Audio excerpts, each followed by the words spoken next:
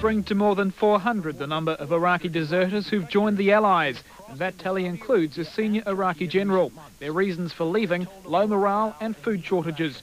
American troops are gearing up to receive more than 200,000 deserters and prisoners of war if conflict begins. With time fast slipping away, both sides are digging in deep, not just in a military sense, but diplomatically as well. In Baghdad, a fiery PLO boss, Yasser Arafat, says his troops will side with Iraq on battlefields across the world. We are at a critical point in our history, the point where we will find out whether or not we exist as a nation.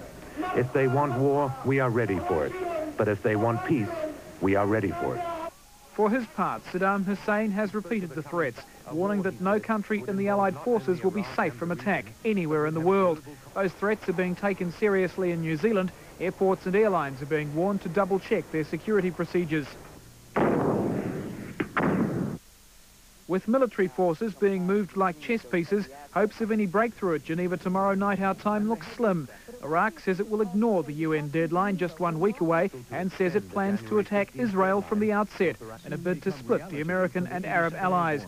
US Secretary of State James Baker heads for tomorrow night's talks with only one promise, a promise not to attack Iraq if it leaves Kuwait by next Tuesday. The only real chance that we have for peace, in my opinion, is if Saddam Hussein begins to understand that that deadline is real and that we are serious. While the world anxiously watches the deadly game of brinksmanship being played out, American troops in the Gulf have their own theories on Saddam's threats. At one week away, I still don't think Saddam Hussein seriously thinks we're coming. And I'd like to tell him we will be there if ordered by President Bush, and we will be ready to go and fight in one week. Ian Wishart, 3 National News. As the Ides of January approach, New Zealand's first medical support team is warming up for their role in the Gulf crisis.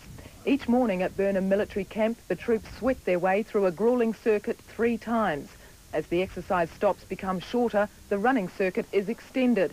It's imperative they begin to acclimatise themselves to the sweltering heat conditions expected in the Gulf. A range of pressure drills wearing the chemical warfare suits and simulated medical care in a war zone is scheduled for the afternoons. It now seems unlikely the team will arrive at their mission before the January 15 deadline, but they're prepared to go at any time. They can move at a moment's notice, and uh, the actual date I can't give you at this stage. We're still negotiating with the United States and with the host country. What they do now know is who they'll be working alongside once they arrive. We're going to be joining up with a US medical facility and it'll be what we call a third echelon facility. In other words, we're back in the communication zone, a uh, hospital establishment. Details of where the medical team will be stationed are being kept secret. Security's also been highlighted at New Zealand airports. A general alert's been issued to remind staff to enforce normal security, but to also be extra vigilant as fear of terrorist attacks mount in the week leading up to the UN deadline. Rose Daly, 3 National